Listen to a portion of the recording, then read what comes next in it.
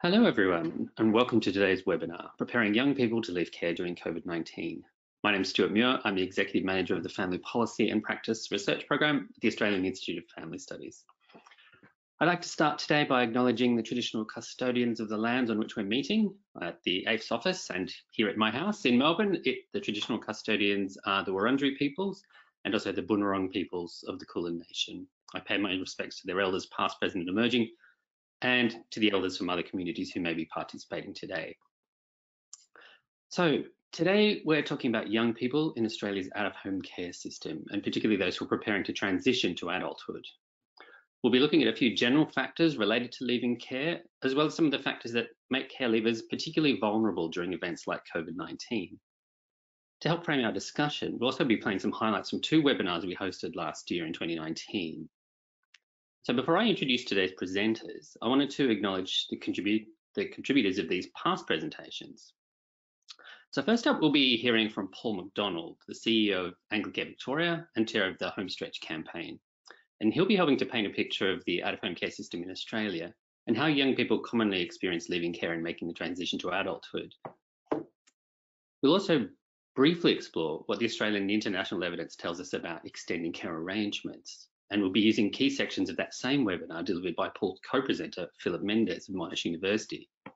Philip's also joining us here today uh, to give some further insights in the context of COVID-19, but I'll, I'll come back to Philip and his proper introduction in a moment.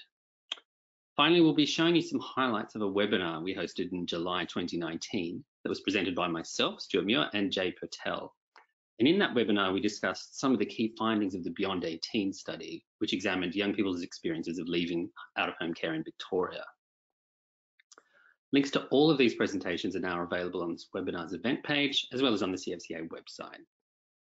So today's presenters, we're joined, we're very pleased to be joined by two eminent experts in the field, Philip Mendes and Jacinta Waugh. Philip is an associate professor and the director of the Social Inclusion and Social Policy Research Unit in the Department of Social Work at Monash University. Philip's been researching young people living state care for over 20 years, and today he'll be giving us a brief overview of recent national and international developments relating to the extension of care arrangements and highlighting some of those that have been particularly introduced in response to COVID-19. Philip's colleague Jacinta works in the Faculty of Medicine, Nursing and Health Sciences at Monash University as a teaching associate and she's completing her doctoral work examining the influence of informal social supports on the lives of young people leaving care.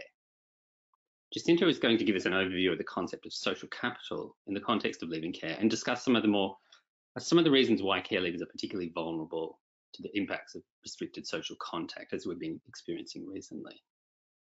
After these presentations, then Philip, Jacinta and I will talk a little bit about the research, what the research says about how practitioners can support care leavers, and help address and how they might help address some of the vulnerabilities. So without further ado, uh, we will now take a look back through some of the key learnings from the past webinars that I've just introduced. Thanks. Where I thought I'd go first is what is out of home care? And basically, out of home care it refers to statutory care of children young people who are unable to live with their parents. So, children out of home care, in most cases, also on, on a care and protection order, they may have been removed due to uh, abuse, neglect, or uh, relinquishment reasons. Let's let's say there's around 50,000 young people who are in out-of-home care. Most of those are in foster care and kinship care, We've around five to six percent who are in also residential care, and about a third of those, a bit over a third, uh, are, are children of Aboriginal or Torres Strait Islander descent. The target group between 15 and 17 years, when the state normally sets about the process of exiting or terminating care. Swinburne University Technology, who did their national survey of homeless youth, found that 63% of them were actually in state care historically and were now homeless. When you have a look at some of the other outcomes, 35% had five or more places of stay in their first 12 months from leaving care.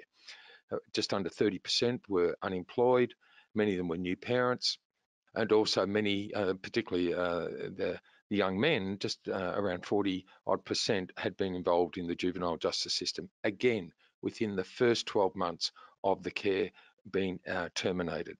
43%, the AIFS report announced yesterday, of 20 to 24 year olds, up from 36%, are still in the family home. Goodness me, 17% of 25 to 29 year olds are still in the family home. Yet, in every state in Australia, legislatively speaking, care is to be terminated, ended without discretion, without any discussion at 18. Now, what does this in fact mean? Well, their work is removed all, all legal, physical, domestic support is then terminated. So what we've seen is West Australia, South Australia, Tasmania, Victoria, ACT, New South Wales, Queensland and Northern Territory all universally have their legislation that cares to be finished at 18 and all universally have their care planning requirements are required to begin with a child at 15. Now, can you imagine going up to your own child at 15 and saying, oh, by the way, uh, Johnny, it's uh, we've got to get you a leaving care plan. This is what the state does to children in state care. We went to Deloitte Access Economics and we asked them, could they do a similar cost benefit study state by state and imagine if care was extended to 21, what would be the benefits? Interestingly, the Commonwealth, who does not have jurisdiction over child welfare here in this country, they're paying 1.8 billion over the next 10 years if we continue to have care terminated at 18 that being costs in Centrelink payments, costs in as due to early pregnancies, costs in hospitalisation, you know. So Deloitte Access Economics has found that if we do not extend care through to 21, the costs to the country will be 2.4 billion, 1.8 billion. Uh, the Commonwealth are picking up the check, and 0.6 billion or 600 million for the state and territory.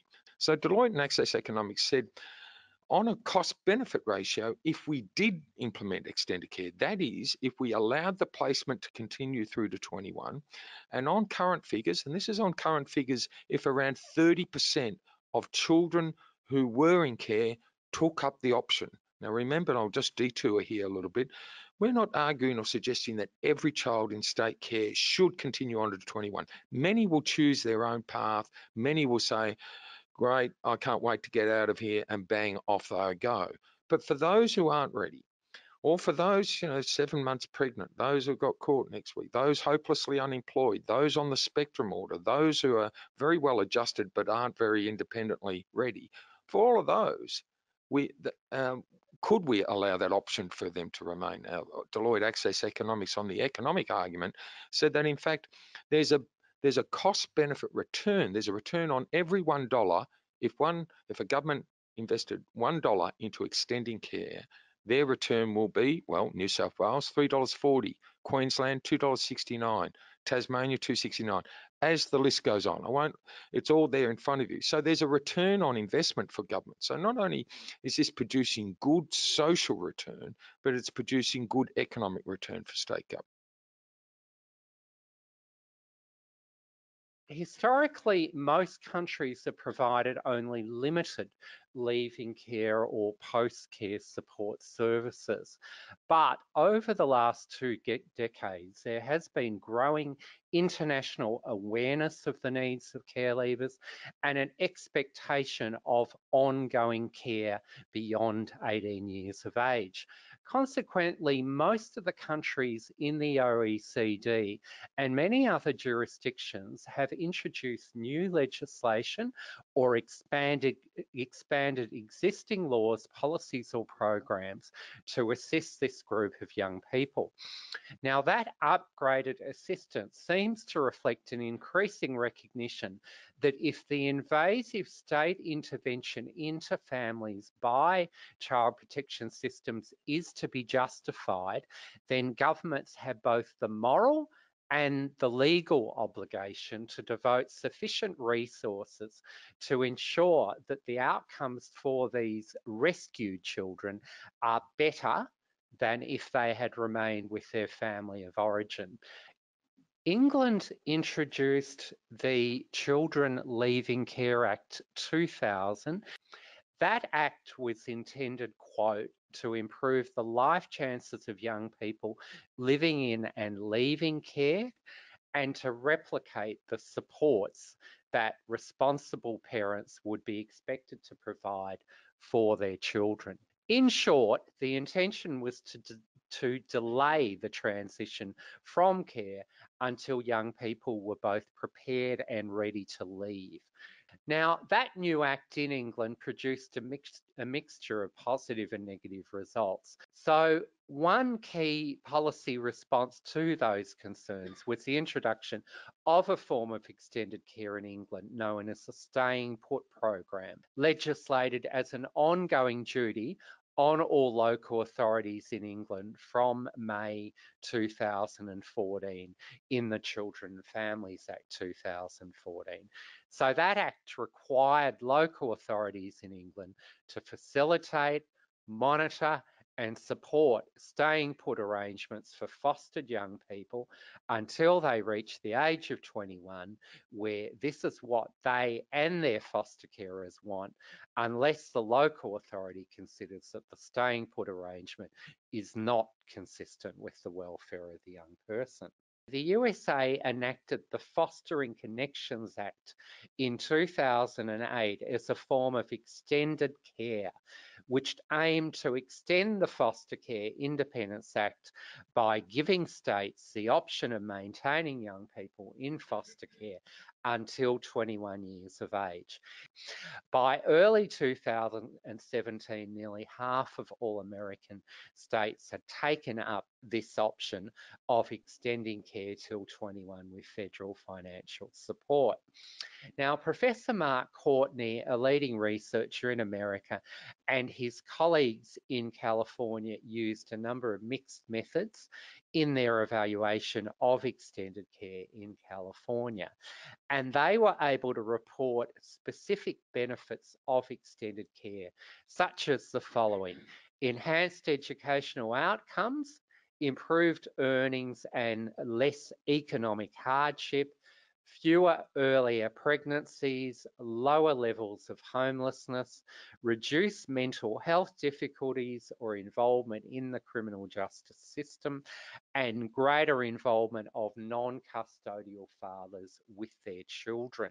Now, Ian Matheson argues that extended care works for a number of clear reasons because it offers continuity and stability to young people, a nurturing environment, it helps engagement in education, employment and training, it empowers young people and it gives them greater choice and control over the timing and the process of their transition.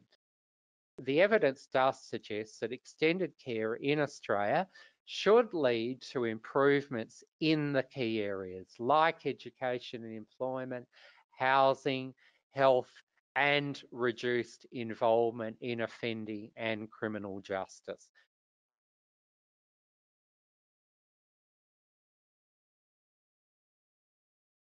The Beyond 18 study was uh, commissioned by the Victorian government and it was intended to help better understand some of the key factors of young people's experiences when they transition from out of home care.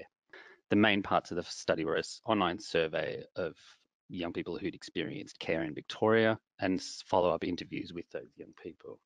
And in that survey, we asked them a, a bunch of different things about their experiences of transition planning, their relationships with workers, relationships with other people, service use, and a lot of things of life about their lives in general, like accommodation, education, employment, and health and welfare. One of the things we found when we were talking about to young people about their experiences of leaving care is that we found that a lot of them had pretty patchy knowledge of the services and supports that were available to them or potentially available to them, and also pretty patchy knowledge of the transition process as a whole. So only one in three, I think, had knew whether they had a transition plan or not, and many of them didn't really know what was going to happen as they left. We also found that a lot of the young people in the study were leaving care with some indicators of pretty significant emotional or peer relationship issues, and they also had pretty low levels of education compared to other young people their age. After they left care, so in the first 12 months or so after they left state care, we found that they had some pretty complex housing patterns. So people moved a lot, uh, they moved between different houses or different uh, types of accommodation and between different sort of accommodation types. So between private rentals, transitional housing and the like. We also found an association between their housing type and their participation in education or employment. So young people who were studying or working were the most likely to be living with former carers or living with partners. Um, and in contrast, young people who weren't working or studying were the most likely to be living in transitional housing. We also found that they had very low levels of income. Less than half of the study was earning any money from employment. And of those who were earning money from employment, I think about two thirds of those were in part time employment. And a lot of them had experienced some form of financial distress, such as going without meals. In the qualitative interviews, many young people stated that they had limited social networks. This was a cause of distress for many participants in the interviews, many of whom indicated that they felt isolated and alone. Although some reported ongoing relationships with former carers, others had lost contact or were wary of overburdening former carers or friends with their problems or support needs. So social relationship problems had a lot of uh, a range of underlying causes like previous trauma and neglect, plus development and behavioural issues, but these are exacerbated by high mobility, like with placement and school changes, issues with conflict or bullying, especially in residential care or at school or in workplaces. There was a strong theme of the stigma of being in care and the lack of a normal socialisation was mentioned by many of the participants. Particular issues for young people from residential care included having limited opportunities to build extended social networks or engage in social life while in out of home care. Consistency and continuity were highly valued and were described as enabling young people to build relationships of trust and to gain access to support services. Conversely, inconsistent support or frequent changes of workers was described as hindering young people's ability to develop social skills or to access supports. One young woman who'd lived in residential care explained how being in care can lead to isolation or how our systems can get in the way of relationships.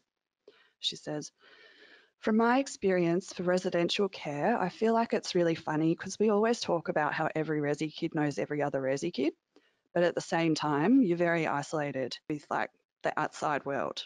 You just know your services. So in their accounts, many young people hankered after more personal or flexible relationships with their out of home care and leaving care workers. They placed a higher value on good relationships and on people that they could see or speak to outside of a formal setting. This was especially true for those who'd been in residential care. Okay, after watching those videos and, and leading into reflections and discussion with Philip and Jacinta, we'd just like you to keep in mind some of the key points from those past presentations. One of those is that even before the current situation with COVID-19, care leavers or young people preparing to leave care were already uh, an especially vulnerable group with often with limited social supports or social networks. And this is clear in the education, employment, housing and economic outcomes, and in young care leavers' accounts of, of feeling unprepared to transition from care. We've also heard about some of the emerging international evidence of the potential benefits of extending care arrangements as well as about the importance of social networks and the benefit of more consistent and continuous relationships with peers and workers. This last point suggests that practitioners are both a part of the social support system for many young people in care or as well as afterwards, as well as being potentially in a position to help young people to strengthen or leverage their social supports. Today we're discussing this in the context of COVID-19, but obviously a lot of what Philip and Jacinta will be speaking about will also have relevance and res resonance in practice with care leavers more generally. So I'd like to now pass to Philip, who will be talking about some of these issues in, specifically in relation to the current COVID-19 situation. So thank you, Philip. Thank you, Stuart. Hello, everybody. So to begin with, current post-18 years support in Australian jurisdictions is discretionary, not mandatory. So that contrasts with post-18 supports in the USA, UK and New Zealand. We might come back to that later. But the Homestretch advocacy campaign has resulted in four states trialling forms of extended care. Both Tasmania and South Australia are funding foster care placements till 21 years of age. Western Australia commenced a trial program supporting about 20 young people in May 2019. And Victoria introduced a pilot program in May 2018 supporting 250 young people over five years, whether transitioning from foster care, residential care or kinship care. Additionally, the ACT introduced an earlier program in 2014 providing financial and casework assistance to care leavers till 25 years of age. The other three jurisdictions, New South Wales, Northern Territory and Queensland have not introduced extended care programs to date. Now, the trials in those five states and territories have been informed by positive findings from extended care programs in the UK, USA and Canada. And there are probably three main points coming out of those evaluations. One being that more gradual transitions influenced by stable and supportive ongoing relationships lead to housing stability. Two, there is greater engagement in education and employment. And three, there is reduced homelessness, early pregnancy, involvement in the criminal justice system and economic hardship. So what are the particular learnings for Australia from elsewhere? Again, there are probably three main points. One being that extended care needs to utilise inclusive not exclusive criteria so that we're not just supporting those young people with initial positive transitions who are committed to and engaged with education and or employment. Secondly, extended care should incorporate all forms of out-of-home care, including residential care. And thirdly, extended care in Australia must address the specific cultural needs of Indigenous care leavers who make up about one third of the total leaving care cohort nationally. Now, COVID-19 has reinforced arguments for extended care internationally. A number of international jurisdictions, for example, British Columbia and Ontario in Canada, and four American states, California, Illinois, Ohio, and Rhode Island, have extended care to at least the end of 2020. And those jurisdictions are providing the same level of support involving housing, education and finances and social workers are involved in proactively contacting young people to ensure they take up that support. The Create Foundation locally have indicated that most Australian jurisdictions have pledged some form of extended support during COVID-19. Most notably, Victoria have formally assured that extended care, will, care supports will be available for those who turned 18 between March this year and December 2020 till June 2021. So those extended care supports in Victoria involve a carer or housing allowance, flexible funding and casework support. Now, those additional supports or arrangements during COVID-19 address a number of particular concerns.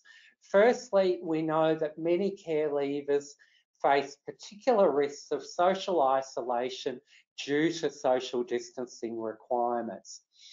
Additionally, many lack support from family or community connections as noted by the Beyond 18 study and may rely heavily on professional workers.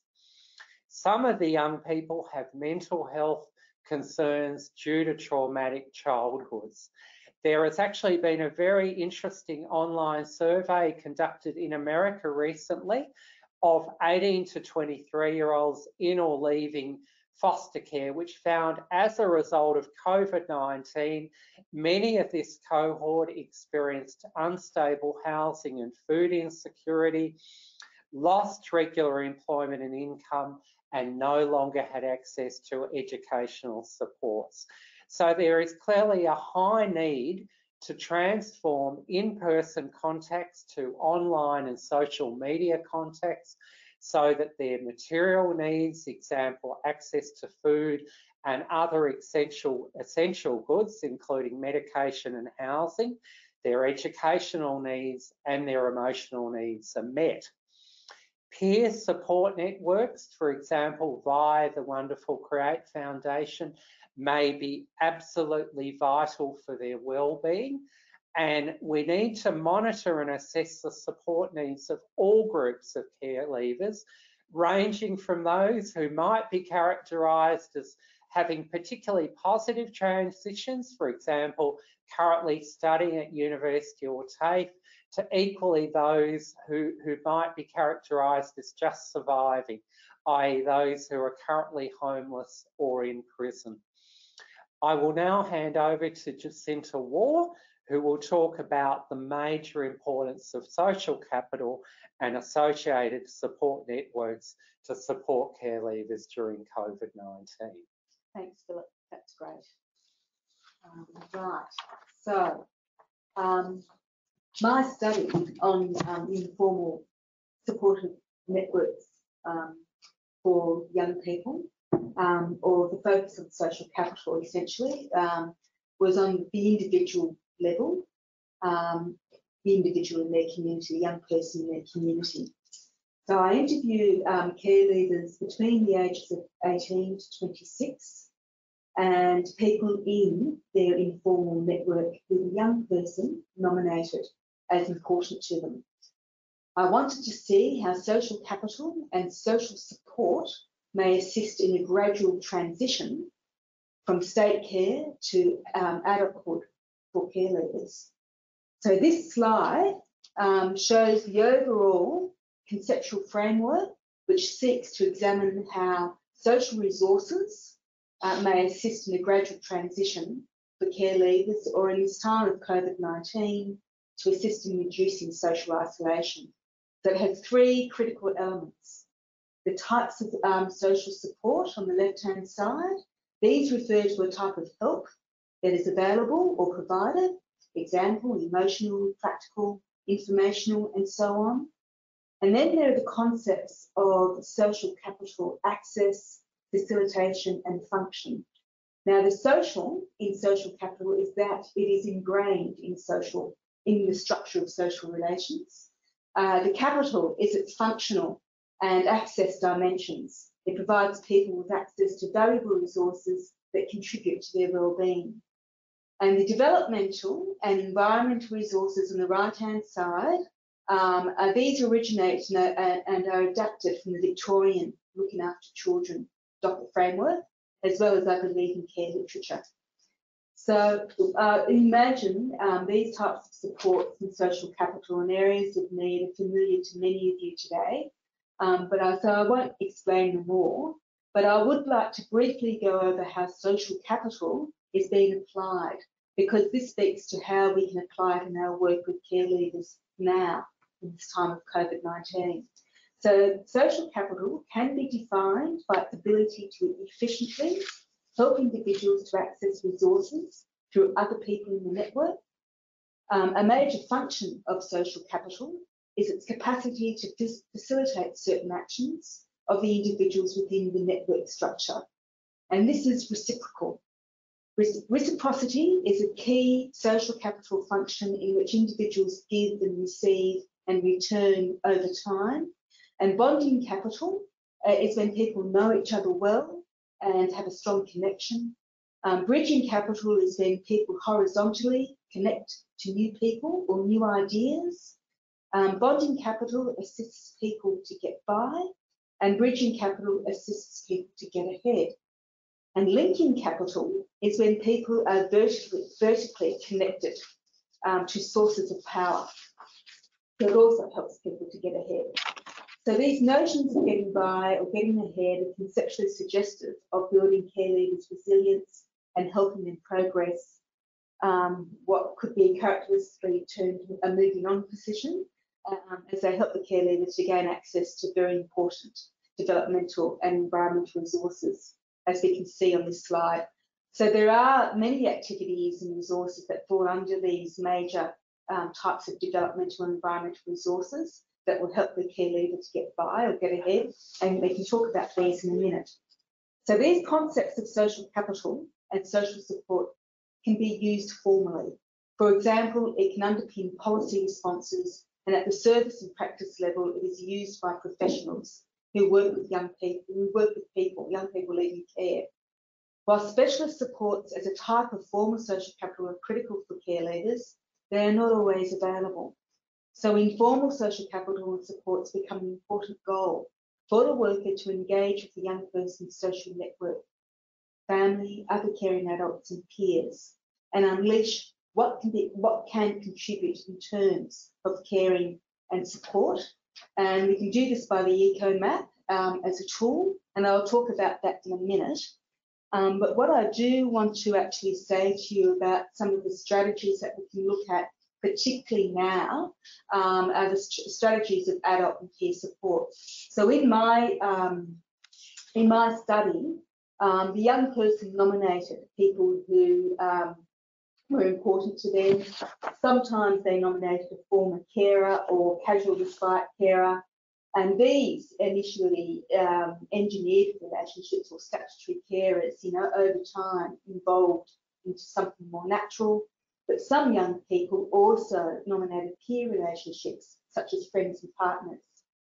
So, and some young people inadvertently um, would talk about assistance from other people in their in their network as well. For instance, I had one young participant who had tried returning home, and um, after leaving care, he was about 18 when he um, turned home, and after a week, um, their parent called the police um, to move him out again, and this actually happened, and he was um, left on a, a train platform at midnight uh, this young person was resourceful and um, he rang his basketball coach and uh, they came and took him home to their place and um, he was able to stay there until he was um, ready to leave. Uh, so that was a person in his network um, that supported him, a caring adult. Um, I had another young person who was able to stay um, with their um, foster carer um, post their official ending of their um, uh, guardianship. And this support was actually very good for this, um, for this uh, young person. And in fact, they had that home as a secure base. So if that young person wants to leave and and then she missteps or makes a mistake, she's got a place to return to. So during this time of COVID-19, uh, this young person um, has the family support, not unlike many of her non-care state peers. So it brings me to the question of why care leavers are a group of people particularly vulnerable to the isolating effects of COVID-19, as this is an example uh, that demonstrates a very good social capital provided while in care um, and its continuation can replicate the nurturing and positive side of um, familial social capital. The first case exemplified uh, something quite different. They couldn't rely on their family. So um, for many care leavers, as we know, um, their parents as a form of vertical relational support has not worked out for them.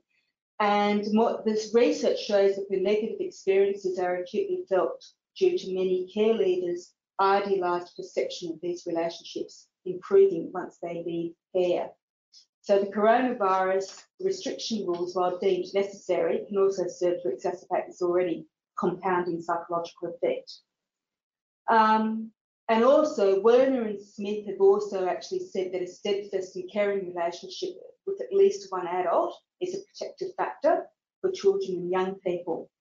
So when we're looking at reconceptualizing this sort of care through the lens of social capital, we can see the value and relevance of the everyday care work that we do with young people.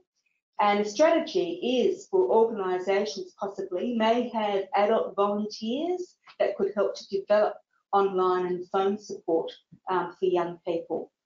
Another, when we talk about peer support, I had another young person who actually talked about um, a friend of theirs who actually gave them a lot of support. But this support also was um, reciprocal. So the person that I, um, the two young people that I interviewed, they very much um, used bonding and uh, re reciprocity, social capital in their friendship. Um, and that's what we, that's what friendship is um, all about. But often this um, uh, this concept, it's a quite an important concept because it often goes un, un, unacknowledged. And we need to, I think, make it quite visible that these small cumulative actions of positive bonding and reciprocity capital is um, very important for young people so they can see that they too are active agents in their social network, that they're not just the um, passive recipients of someone else's benevolence, but they are thoughtful members of their own social network, giving, receiving, and returning over time.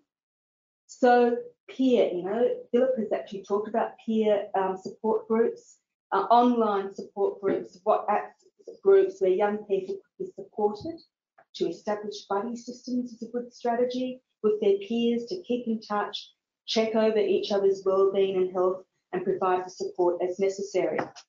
So continuing on, um, how do we find out who these people are? Now, some of you may know about EcoMaps, um, and you may work with EcoMaps as a for attending work, it's a drawing technique that enables workers to depict social and family relationships. It is commonly used for assessment, planning, and intervention, and originally used as a focus for family relations, it has expanded to other social relations. Um, so its visual power brings into sharp relief the connections, themes, and quality of the young person's um, life and leads to a more holistic insight of who can contribute in terms of caring and support. So we're not solely concentrating on the young person or formal services to find answers. But we can also start relying on care generated by perhaps um, other family members who they get on with or other persons in their network. It's quite a practical tool. So at the centre, um, a work, uh, worker places um, the young person's name and then draws lines representing the connections with people activities um, that a young person may do. You ask about the different types of social resources, like family or significant others, friends, clubs, sports, to find out who's in their network. It's strengths-based, um, being mindful of potential inner and outer resources. By inner, I mean their psychological, emotional, perhaps spiritual resources, and the outer are the more practical, financial, um, informational supports. Um, it's important to reinforce the representations of relationships with different lines as they tell you about the quality and the intensity of the relationship. A thick line represents important um, positive connections. Um, a thinner line, a neutral connection. A crosshatch line indicates stress or conflict. A dotted line, a tenuous relationship. And an arrow or double arrow pointed arrows tells you about the flow of resources, the energy or the interest in relationship. And just very quickly, I had another example. Um, I'll go in there. And there's an example of a pretend one that I did just to sort of show you what it could look like. As you can see, the young person has a strong bi-directional relationship with their cousin in this depiction and a strong relationship with a mentor and a, a stressful relation, relationship with their brother. But finally, I just want to um, give you some other sort of practical ways. Um, and the next couple of slides, these slides actually come from Victoria, the Centre for Excellence in Child and Family Welfare. It's a peak body here in Victoria. And they gathered a lot of information from leading care specialists of the different sorts, sorts of practical things that we can do um, in this time during COVID-19. So there are, you know, um, we now know that we, of course, we're able to go out and take walks with clients. We can have conversations from the driveway. We can be using the technology like the phone. Um, if we have a meeting with a young person over Skype, um, maybe we can actually order some pizzas or order some food to have that meeting with. Food, health and nutrition, another very important resources for young people. There's things that we can do there with um, e-vouchers for super, supermarkets. We can drop off food. Um, we can do food delivery with recipes and learning to cook. We can make care hampers to young people that include the necessities and treats, and there's emergency relief vouchers. And what I'm saying here is that once we actually probably know who in that young person's network, maybe we could be talking to those people to find out if they can be giving this sort of support, um, particularly if uh, professionals are not um, available at, at, this time to give this sort of support.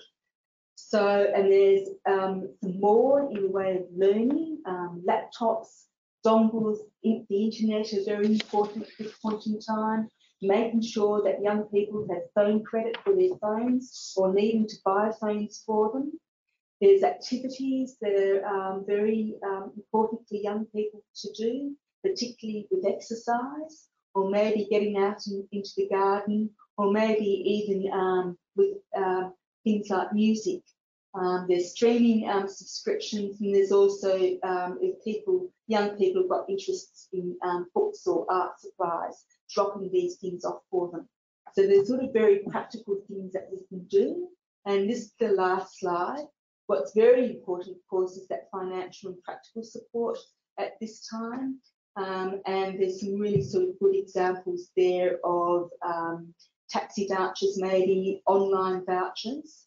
And that last one, going back to that eco map, um, is, you know, particularly if you find that young people do have to self-isolate, um, that trying to find out in their um, social network maybe who in their neighbourhood or who of their friends can help them out with things like shopping or getting medications.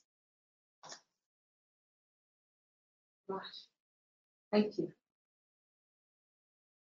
Thank you for those reflections, Philip and Jacinta. Um, before we go to the audience and take some of the audience questions, um, we please do invite you to have them. I have a few questions just to open up the discussion a little bit or to allow you to expand on some of what you said. So for Philip, you, you've spoken both in your past presentation and today about the, the benefits of extending care. I wondered if you could say a little bit more about what the specific effects of extending care or the be specific benefits of extending care are for the well-being of care leavers in this current context. I mean, what what would extending care do for the young people leaving care in the context of COVID-19?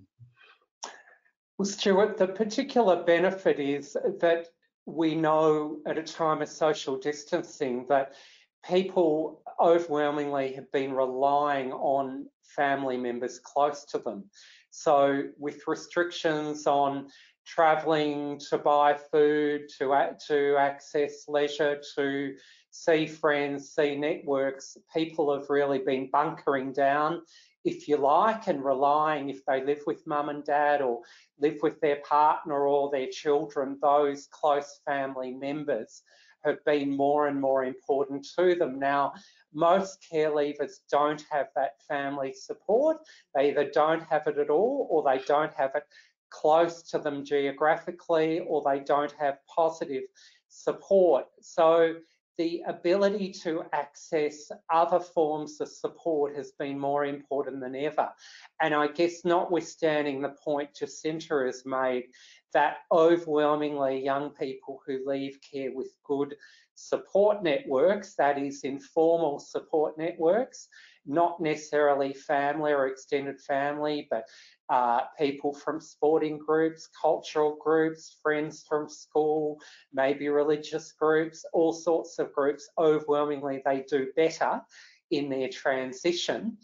But we do know that some young people leave care with very few, if any of those supports. So in that current environment, the ability to access professional supports, whether it be a, a leaving care worker or it could be a mental health counsellor, or it could be someone helping them with their continued or further education. That has become more and more important. And of course, then there is also that fundamental need around material support, one being actually being able to get food, which of course has, has been a challenge for everybody at times in terms of getting to supermarkets, getting beyond panic buying. And uh, then the other side of that, of course, being access to housing, which has been a massive issue for some people, either retaining current housing or getting stable housing if they didn't have it in the first place. So they are major areas that would have become harder for some care leavers in the current environment. And Jacinta, I wondered if you could maybe talk about some of the possible, I suppose, effects of extending care on, on young people's social capital. I mean, I mean, whether that's in the current context or just more generally. Uh, the extent of extending care? Yes. Yeah. Um, well, well, uh, to me, that is actually extending um, their uh, social capital. I um, welcome that legislation. Um, what my what the research that I've actually done and what it says is that when those um, young people um, have been invited to actually stay with their former carer, it's those young people in the group of um, participants that I interviewed. I interviewed nine participants. It was those people that, in fact, their social capital, it's the bonding, the bridging, um, the mix of um, their social support, of information, information support, emotional support, and um, uh, mixing that with the, their social capital, they're the people that were in fact doing very, very well. Um, they were um, uh, uh, often at um, university or they had work, they um, had a good network of friends around them. Um, they had been learning about progressive responsibility. Um, they were the, the extended care um, as a model. I think is actually very important because it's actually extending a the most let's face it um, uh, the classic form of the informal social capital. Uh, nurturing social capital is when you have um, good uh, supportive families um, positive family supports, and that's what the research, uh, my research was showing. Those young people where um, uh, they said to me that the most important person um, uh, may have been a friend who may have been care themselves. Um, they, I must say, they were struggling um, a little bit more than the other people in my um, research. Um, they, and they often, in fact, have to get um, more support from formal organisations and, and, professionals. Okay, thank you. Um, we have a number of questions coming in and, and, time is now running short, so I might now throw it to some of the, the audience questions.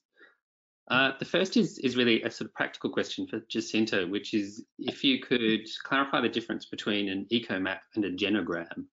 Yes, okay. So um, a genogram is usually when you are looking at um, the a person's family, and it's usually three generations of that family. So it's a little bit like a family tree, uh, that's what a genogram is. So you may have mum, dad, and then the kids, and up there you may have your grandparents. So you usually actually have three generations. Now, often that genogram can be part of an eco map. But the, the eco map is like the eco is short for ecological, ecological systems theory. And um, that uh, with that, essentially, you're showing more of the relationship of that person or that family with their environment uh, around them. And that's the social environment, it can be the bio psycho environment, uh, it could be the spiritual environment, um, and it could be uh, the environment like uh, health and employment as well.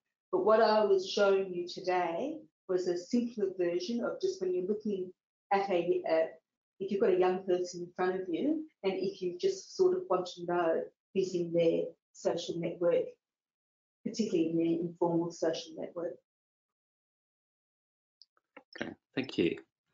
Um, I have a, a, question for Philip here from the audience. Um, the audience member was asking whether extending care affects relationships with birth parents, um, whether that makes you know those kind of relationships more difficult, or whether there's any benefits to that. That that's a good question, which I don't think the literature has thought a lot about, um, Stuart. Um, I, my hunch would be that in you know in the ideal world, young people would return to live with birth parents when they leave care.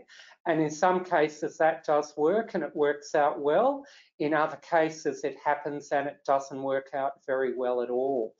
Uh, so generally when we talk about young people that might get to 18 and leave care at that point and, and move into independent living, so they're not going to live with a, a parent or a close family member, uh, I, I would think that the, the important things in their life are the supportive networks they've had up until they're 18, the, the key support networks, whether that be a foster carer or another carer or other key people in their life, as Jacinta has talked about. So I, I think certainly I don't think it would hurt their relationship with their birth parents, uh, but it wouldn't necessarily impact significantly. Um, the Aboriginal and Torres Strait Islander cohort, there, there may be some unique circumstances operating there, particularly as we know that many of that cohort, uh, when they leave care, may return to remote or rural communities or families a long way from where they were placed in care. So in, in some ways, having that extension of care and certainly that option of um, having financial support extended can, can be a, probably a real positive in enabling them to return to their own communities and see whether that arrangement can work out for them. Okay, thank you. Um, that, that kind of in part brings me on to my another question for you, Philip, which and, and potentially Jacinta too. We had we've had a couple of questions asking about how might practitioners uh, approach working with Aboriginal or Torres Strait Islander communities, I guess, in, particularly in the re respect to COVID-19 and, and in some remote communities where there are, you know, particularly strict restrictions on entry. Um, how, how, can those communities or pe young people in those communities be given support or help to build their social capital? Look, I think there's a few issues there that are emanating a bit from the current national study we're conducting on Indigenous young people leaving care. I mean, one particular need of that group is to um, uh, retain and expand their cultural and community connections and, and identity. And that does mean uh, really before they leave care, how important it is for, for, for connections to be established for them uh, with broader communities, with mentors, with Aboriginal community controlled organisations. That is irrespective of whether they're returning to a, a family or, or community um, of that background. Uh, in the current circumstances, whether it is practical for, say, someone who's been placed in a city or a big regional city to return to a more remote or rural community, I guess is debatable given, given the issues you raise. But I think if we're talking generally, uh, that preparation to potentially return to community and country is something for that cohort that needs to be a major part of any leaving care plan. And, and that plan is not only about linking that young person to organisations, it's also about examining what is happening in those communities and whether uh, something can be done resource-wise, program-wise to address issues that led to those young people going into care in the first place. Because the reality is, um, whether it's happening in COVID-19 or not, it would be happening generally that many of the young people are returning to those communities, but there is a situation there probably unchanged from when they were removed. Uh, so that seems to me to be a part of leaving care planning and post-care planning that there has been very little, if any, attention given to so far. I'm afraid we're, we're running out of time here. We do have a number of other questions, uh, most of which we will be able to put on the forum, so please keep an eye out for that. And finally, I'd really like to say thank you, Philip and Jacinta, and to everyone for attending today. As we continue to monitor the situation with coronavirus, please keep an eye out for CFCA newsletters for updates and future webinars. And with that, I thank you all for joining us. Bye-bye. Thank you. Bye.